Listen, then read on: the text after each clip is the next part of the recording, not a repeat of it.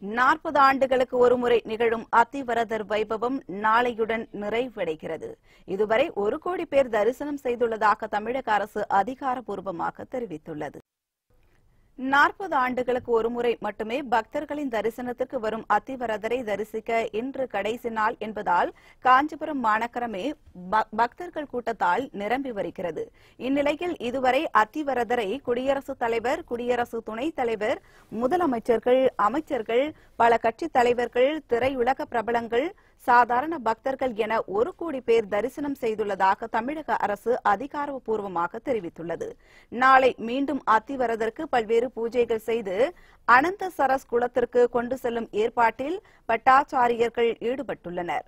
அத்திவரதர் மீண்டும் குளத்திற்கு திரும்புவதால் அத்திவரதர் இருக்க போகும் அறை சுத்தம் செய்யப்பட்டு மாசு கட்டுப்பாட்டு வாரியத்தின் கண்காணிப்பில் சுத்தமான நீர் குளத்தினுள் செலுத்தப்பட்டுள்ளது. வந்துட்டோம். இப்போ ஒரு நாலு மணி நேரத்துக்கு அப்புறமா சாமி தரிசனம் கிடைச்சிச்சு. நல்லா சிறப்பு தரிசனம் கிடைச்சிச்சு. நெரிச்சல் அதிகமாக தான் இருக்கு. இருந்தாலும் பரவாயில்ல. கடந்த நாட்கள் அதுக்கு கம்பேர் பண்ணும்போது இன்னைக்கு ரொம்ப பெஸ்ட்ன்றாங்க காலையில் எழுந்து நின்ற கோலம் கடைசி நாளை சேவிக்க வேண்டும் என்று இருந்தேன். அதையும் நடத்தி கொடுத்து விட்டார். அவருடைய அருள் நிச்சயமாக எல்லோருக்கும் இருக்கணும் என்றுதான் பல்லாண்டு பாடி இருக்கிறார் பெரியாழ்வார்.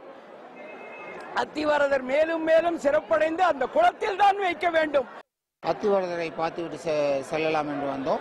இங்கே வந்து வரிசையில் நிற்கும் பொழுது மிக வே வேகமாகவே வரிசை சென்றது. நாங்கள் வந்து அத்திவரதரை தரிசித்துட்டு அஹ், பூரண நிம்மதியுடன் இங்கு வந்திருக்கின்றோம். சாமி பார்க்கறதுக்கு ஒரு மூன்று மணி நேரம் ஆகியது.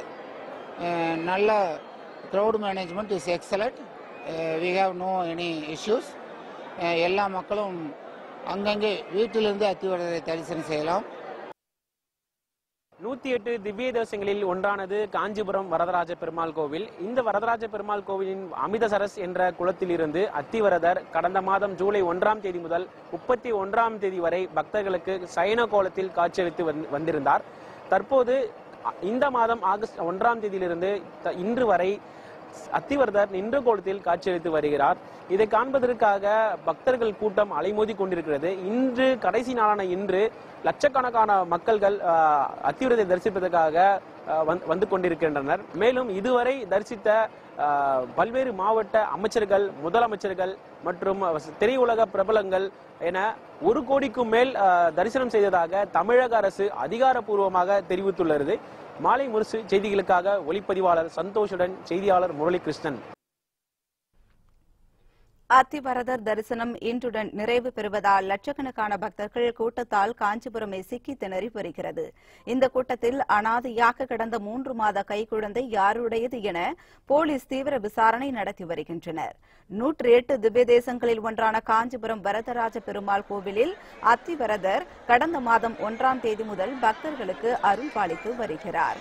கடந்த மாதம் சயன கோலத்தில் காட்சியளித்த அத்திவரதர் இந்த மாதம் ஒன்றாம் தேதி முதல் நின்ற கோலத்தில் அருள் பாலித்து வருகிறார்.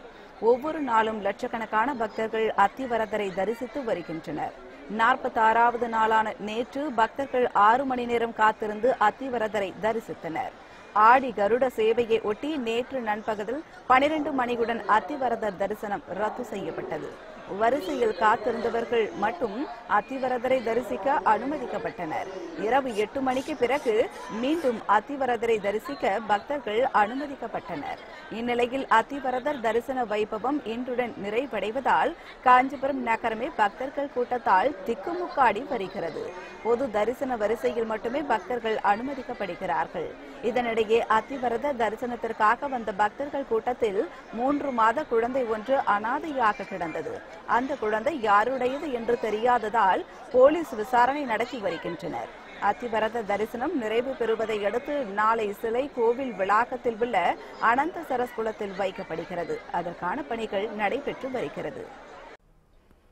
அத்திவரதர் வைபவம் நிறைவு பெறும் நிலையில் காஞ்சிபுரம் மாவட்ட ஆட்சியர் பொன்னையா நமது மாலை முரசு தொலைக்காட்சிக்கு அளித்த பிரத்யேக பேட்டியை தற்போது பார்ப்போம். அத்திவரதர் வைபவம் ஒன்று ஏழு ரெண்டாயிரத்தி பத்தொன்பது முதல் தொடங்கி இன்றைய தினம் நாற்பத்தி ஏழாவது தினமாக நடைபெற்று வருகிறது. இன்றைய தினத்தோடு பொது தரிசனம் நிறைவுக்கு வருகிறது. நாளைய தினம் வந்து சுவாமிக்கான அந்த சம்பிரதாய சடங்குகள் நிறைவேற்றப்பட்டு அனந்தசரஸ் திருக்குளத்தில் உள்ள அந்த பள்ளியறையில் எழுந்தருள பண்ணுவார் என்று தெரிவிக்கப்படுகிறது. அதற்கான பூர்வாங்க ஏற்பாடுகள் இன்றைய தினம் நடைபெற்று வருகிறது. இதுவரை ஏறக்குறைய இன்றைய தினம் சேர்த்து பார்த்தீங்கன்னா ஏறக்குறைய ஒரு கோடிக்கும் மேற்பட்ட பக்தர்கள் வந்து தரிசித்து சென்றிருக்கார்கள். மிகப்பெரிய சேலஞ்ச் அப்படின்னு பார்த்தோம்னா நமக்கு வந்து அந்த சுகாதாரம் தான். சுகாதாரம் தூய்மை பணியை பொறுத்த மட்டும் ஆயிரத்தி எழுநூறு சிப்பந்திகள் வந்து முழுமையாக தங்களை வந்து ஈடுபடுத்தி கொண்டு ஒரு மூன்று மணி நேர நேர காலத்துக்குள் முதற்கட்டமாக தரிசனம் ரெண்டு காலையில் ரெண்டு மணிக்கு முடிஞ்சதுன்னா அடுத்து அஞ்சு மணிக்கு வந்து திரும்ப வந்து அடுத்த தரிசனம் ஆரம்பிக்கும். அந்த நே இடைப்பட்ட நே கால நேரத்துக்குள்ளே முழுமையாக அனைத்து பகுதிகளிலையும் வந்து அவங்க வந்து தூய்மை பணியை சிறப்பாக மேற்கொண்டார்கள் என்பதை தெரிவித்துக் கொள்கிறேன்.